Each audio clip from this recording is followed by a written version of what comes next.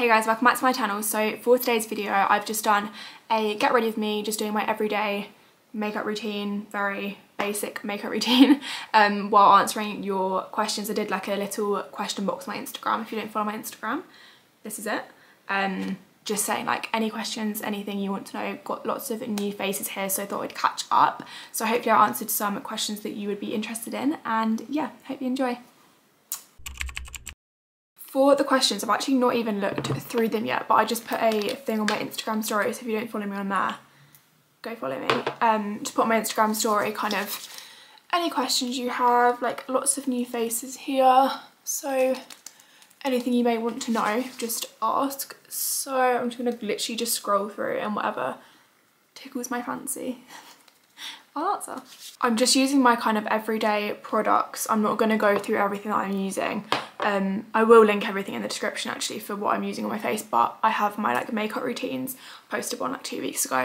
So if you do want to know everything that I'm doing on my face, then that is the video to watch.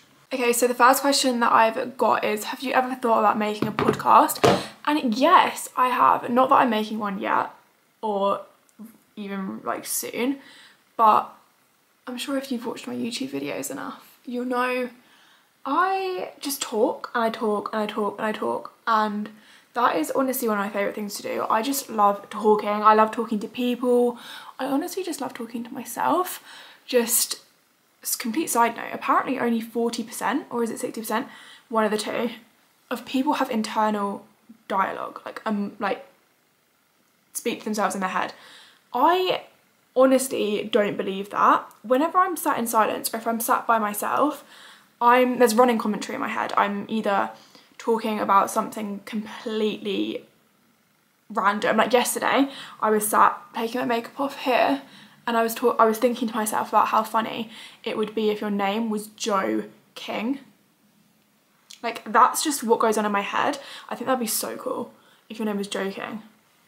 Like that's so funny that's the kind of thing that goes on in my head and I'll always talk about things. I'll think, oh, like, I like that, I want to do that. And I'm just always talking. So the idea of doing a podcast to me kind of makes sense in the future. Definitely not like now, but in the future, 100%, I'd absolutely love to. Before I put my foundation, I just want to say yes, this is too dark for my skin. It is my fake tan shade and I took my fake tan off this morning because I'm fake tanning tonight and I only wear makeup really when I'm fake tanned so I don't want to see any comments saying your foundation doesn't match you because I'm completely aware of that. I feel like in every time that I do a Q&A everyone always says one of three questions. How old am I? Do I have a boyfriend? And how old is my boyfriend? So I'll answer those three. Number one, I'm 20 years old. My birthday is the 31st of July 2003.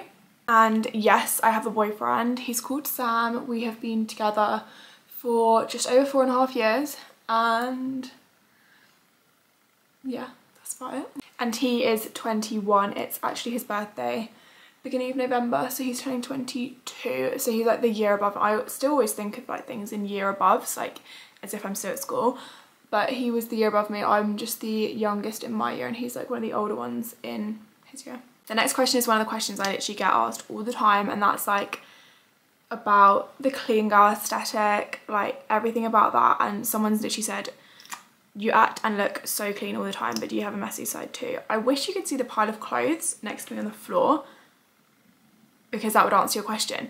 I never like intended to do all this like clean girl aesthetic. I just loved the way it looked and then I decided to start doing slick buns because I thought that looked really cute and then suddenly I'm like now obsessed with like the clean girl aesthetic and people always like ask me how to get the clean girl aesthetic and to be honest that's like the biggest compliment to me because I literally started doing it because I thought it looked nice on other people so the fact that I get so many questions being like how to get the clean girl aesthetic is like oh I must be doing something right?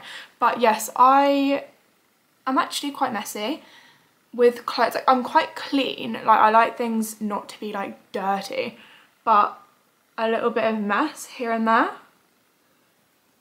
that's just like natural but Sam is very very like tidy he hates things being out and we live together at the minute I'll explain all of that in a sec but he hates being things like being out if something's on the counter for like three seconds it's like I'm getting like dirty looks, like why is that not being put away? But that's just not me. I used to be so dirty. My mum used to take videos of my clothes, like take videos, what is that on my face? Not dirty, I used to be so messy. Um, my mum used to go into my bedroom when I was younger and take videos of like my floor because of how disgusting it was. And it honestly was like when I was younger, I was so messy. The next question is like, do you ever suffer with self-confidence and how do you overcome it? And I actually love questions like this because I feel like when people are quite confident online, it can come across like they've never struggled. Oh my gosh, that was a lot. Um, with confidence and me personally, I have always been, pretty much always been a very confident person. However, I would say about this time last year, I actually really wasn't confident. I don't know why, nothing happened. I think it was kind of, honestly, like it's so common, but like looking at girls online and they had a nicer body than me, they had bigger lips, they had a nicer nose, they had all this stuff. I was getting really caught up in the social media thing and that wasn't even when I'd started social media, it was before and I'm glad I got that out of the way before I started doing social media because now I'm really confident in myself and I think it's just you've got to think what is one what is me being not confident going to bring me? Absolutely nothing apart from like being sad. So when you kind of think about it like that it makes it easier I think. Also fake it till you make it. If you pretend you're confident you end up actually being confident because it's all just like in your head obviously like so I don't know if that was a really, really rubbish explanation, but yes, I have struggled with self-confidence, but once you get over it and just realise that at the end of the day, you're one person out of like 8 billion people on the planet. If someone is that like obsessed with you or anything that they're going to try and bring you down, if that's what your confidence is about, then that says more about them. If they want to spend their time trying to bring you down or trying to make you feel not confident or anything, then I feel sorry for them. Okay, so to answer the like where am I living, who am I living with questions. So I live at home currently with my parents. So I was living down in Brighton area with Sam last year. If you watched my videos or anything, you'll know of that flat.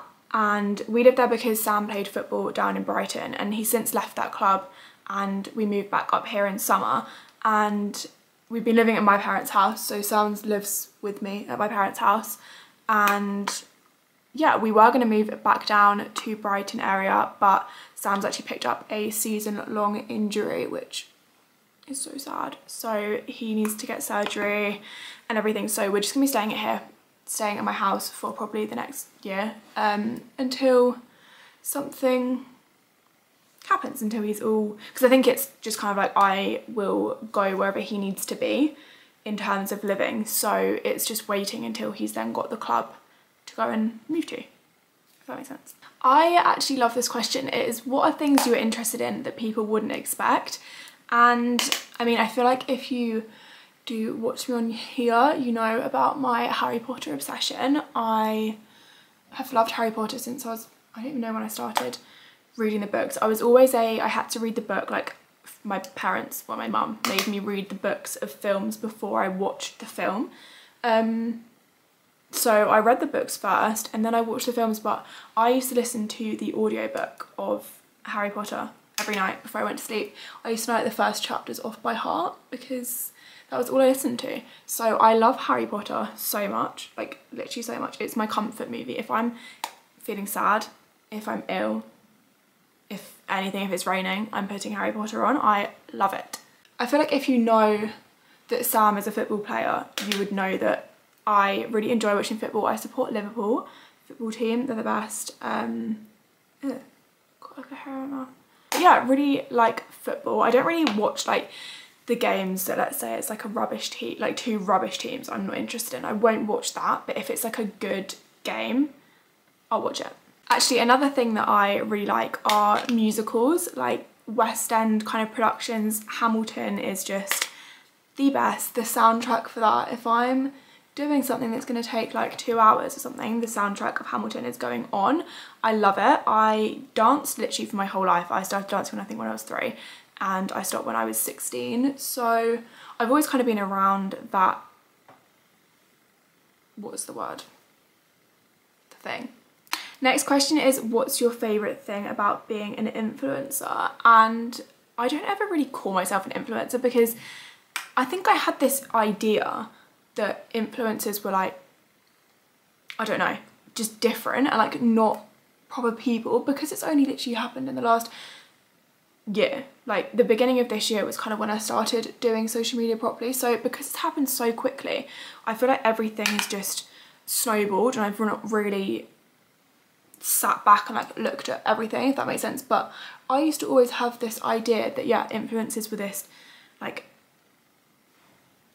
I don't know like just like not like the same way you kind of view a celebrity like they're just like a different kind of person which is completely false but I'd say my favorite thing is probably like talking to people like I love when people message me like oh where's this from even if it's literally saying like oh where's your top from where's your hoodie from or people will message me saying, oh, like I watched on YouTube, I love it. It literally makes my day. I'm not even being serious. Like I'm not even joking. Like I love messages like that. I love talking to you guys. If you ever message me, like I will honestly do my best to reply. I every like couple of days I will go through my DMs and try to reply to everyone that I can find. Also weirdly, my DMs kind of like spawn out of nowhere.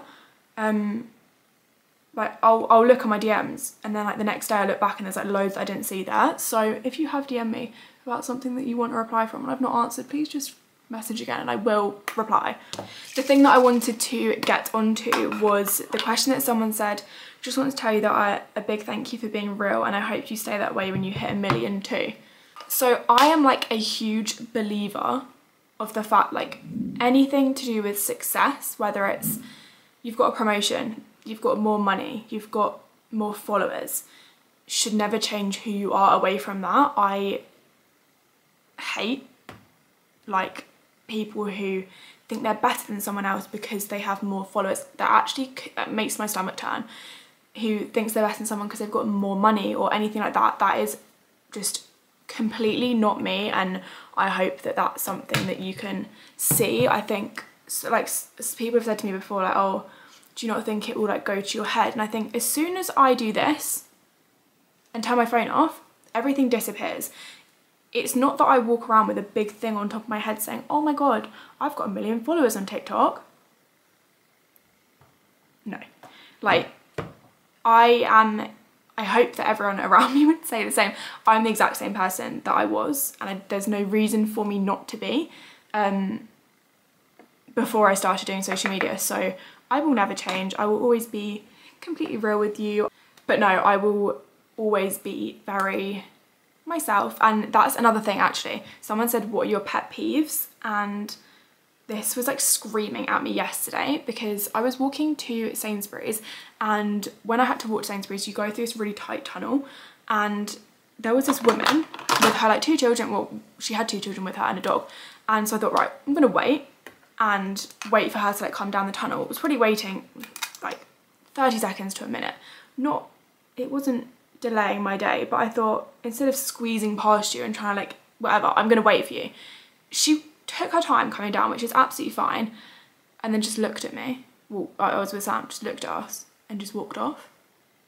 I thought, could you not have said thank you? Like it was so obvious that we were waiting, like waiting, not that like I was trying to make obvious that I was waiting, but if someone's waited for you or done something for you, you say thank you. I just can't stand people with no manners. I'm sorry, I just can't. I think manners cost nothing. And I know I saw a TikTok being like, yeah, but being rude doesn't cost anything either. Like, no, no, no. I think if you have no manners, I honestly like won't be friends with you or I won't associate myself with you. I hate that. Like being rude to people who are doing something for you. Like, I just would never want to make someone's day worse. But at a restaurant, if someone gives me the wrong food, I'm not sending it back. If I would eat it, like obviously if it was something like, if it's bacon, I don't eat bacon because it makes me sick. If someone, if like bacon came out my plate, I'd say, oh, sorry, please don't take the bacon. Actually, to be honest, I'd probably just take the bacon out and just leave it and just um, eat the rest of the meal. But I would never send anything back. I just don't want to be difficult. I'd hate for someone to think, she's so rude or she's being difficult or anything. But for me, manners is just such a big one. Again, this is one of my most literally asked questions in my DMs. Sorry, I'm trying to concentrate on doing my eyebrows. But it's like, what made you start social media? How did you start social media? What should I like, what advice would you give someone who wants to start social media? And I know this is the most annoying thing because if someone said this to me, I'd be like, oh, like I know. Just honestly, just do it. Nothing's gonna happen if you don't do it. And like, you know, when people say like, oh, what's the worst that can happen? Like, it goes wrong, okay? Like, you're not gonna go to jail. Like, nothing's gonna happen. You're just not, it's just not gonna go to plan, you know? So, like with me, I was so nervous to start doing this. I started my YouTube channel, I made my YouTube channel on the 18th of October, so literally basically a year ago. And I posted my first video. I don't actually know when. I posted my first video ages later because I was so scared to post. Because I was just like what if no one likes it? What if no one looks at it? What if no one views it? What if it's so embarrassing and no one watches it or people like to make fun of me? So I posted my first video eight months ago just tell you the exact date I posted my first video on the 2nd of February and I made the account in October so I waited quite a while to post and I was just so nervous because I don't even know why I was nervous because let's be real, what's the worst someone's going to say? Oh, that's so embarrassing. Like, all right. And honestly, literally, I honestly think nobody cares because I had this idea that people would be really mean and like, I guess people might have been mean. I don't care. They might still be mean, but I don't know that they're being mean because they're being mean if they are, it's behind my back. So like, it's not affecting me, you know? Actually, another piece of advice that I saw on TikTok, I don't know what the girl's name was that posted it.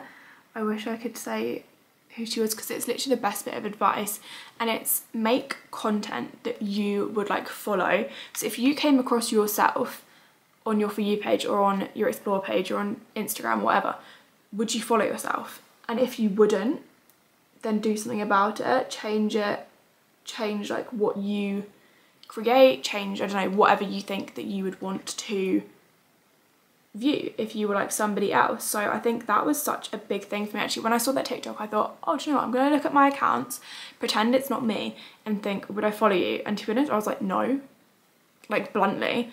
I thought, no, I, I didn't like my feed really. It wasn't really like, didn't do anything for me, you know? And I thought, no, I actually wouldn't follow myself. So I changed it and now when I look at my feed, I love looking at my Instagram feed because I'm like, oh, it looks so cute. That's so sad. Like, how sad is that I just said that, but it's honest. But even if it's stuff like, if your favourite, let's say it's like Molly-Mae, you love Molly-Mae. I mean, who doesn't? Um, and you think, oh, she posts stuff like this, she makes videos like this, she does this. You think, okay, well, I'll just do that. It's not copying. There's nothing wrong with like copying people on social media. If you feel like you should give credit, then if you've like properly copied, then yeah, give credit. But it's like jumping on a trend or if someone does like specific types of videos that you want to create, like go for it. Like that's literally what social media is about. Lots of people actually asked what jobs did I have before I did social media slash is like social media my only job. And so now it's my only job. It's my only form of income. And so I worked at I don't know if you guys know what Tulleys farm is. I'm actually going there tonight um to do pumpkin picking. So cute. But Tulleys farm do this Shocktober festival. It's like the biggest one in Europe I want to say or United Kingdom whatever. And basically you walk around you just get scared at by like scared at shouted at screamed at by actors and I was an actor. I hated it, I'm not gonna lie, it was literally the worst thing ever. But I got to scare some celebs. I scared um, Tommy and Molly. So yeah, when I worked there, I worked in this like prison cage thing and I was like a prisoner. Actually, I'm gonna see if I can get any pictures from when I worked there. So this was like the Halloween makeup that I did when I worked there. Very gruesome. That was me as a prisoner and like a guard at some point. That was me as like a guard with my blood all over my face. Um, but yeah, I really didn't like working there, I'm not gonna lie. It was freezing cold, like absolutely freezing cold, wet, damp, and yeah, I hated it. The pay was really good though, so. and then I actually worked there as an elf um, for Christmas. I was in Santa's grotto, pretending to be an elf, and then I worked at Waitrose I was on the tills and I did like the deli bit at Waitrose. Um, didn't mind the tills because I got to talk to people. Deli, terrified. Because people come up and say, oh, please I have 200 grams of this cheese. And you have to like blind cut 200 grams. Stressful. Okay, so these are kind of more chattier questions, but someone said, what's your next travel destination? So I'm going up to Scotland, um, beginning of November for Sam's birthday actually. We're going up to Gleneagles which is the hotel that I go to like every summer. Um, it's so lovely. It's like a golf hotel and Sam really likes golf. So we're going to go up there and he'll get like a round of golf in and then we can go up for dinner and things, which I'm really excited for. So that's that. And then I think my next holiday will be skiing. So that will be February, I think I'm going skiing. I think either February or Easter, half term, um, I'll be going skiing. We go with basically the same family every year and I used to hate skiing actually, fun fact. Hated it. I've had some really bad accidents skiing. I almost skied off the edge of like the mountain and honestly like hand and heart almost died. Um, I was probably about six, maybe older, I don't know. But I sat down on the bottom, like on the back of my skis and if you haven't been skiing before or done this, when you sit on the back of your skis you end up like going really fast because all your weight's back and you go phew, and then I didn't have it was at the end of the day of skiing and I just didn't have the power in my legs to get myself back up. And I was just like bombing towards the edge of the cliff basically. And my dad says he always says like he literally saw my life flash before his eyes. But it's fine. I'm still here. Um, I actually don't remember it at all. I just remember being told about it. And then I've had I got like picked up by like the T-bar. If you've never been skiing again, it's like a it's like a lift that looks like this and you sit either side. So like one person sits there, the other person sits there, or you can just like go by yourself. And I went by myself and I was going up all fine and then you have to kind of pick it out under you and swing it round so it just like leaves you. And when I did that, it came back and hooked under my ski jacket and lifted me into the air and my skis snapped off. Again, I actually don't remember that a bit not really. Maybe I've like blocked it out of my mind. But I got lifted up. My skis like snapped off. It was rough. And then like some other horror stories. Sorry if you're going skiing and you've never been skiing and now you're like terrified. My one of my best friends she snapped her femur in half skiing. Sam broke his wrist skiing before. Like had some bad memories of skiing but we went again for the first time in like a few years because obviously from COVID and then I just said like my dad and my sister went and I just said I don't want to go because I was convinced again that I still hated skiing. Then I went this year, oh, I loved it. I was so good. Like I used to be like fine at skiing, like I could ski. This year I was so good, looked so good. So now I'm really excited to go again. Um, so I think that will be my next holiday. And then I think I'm going to Greece next year in summer. My dad loves to book our family holidays early. So I think we're going to Greece, I believe. I think I've got that right. Another one is like any future goals that you can share. And in terms of like goals, I don't actually really like have any fixed things that I, apart from buying a house, like obviously I'd love to buy like my dream house. I'm really, really, sorry, I'm trying to find my like foundation thing that I do for my lips and I just can't find it anywhere. Okay, it was literally staring at me in the face.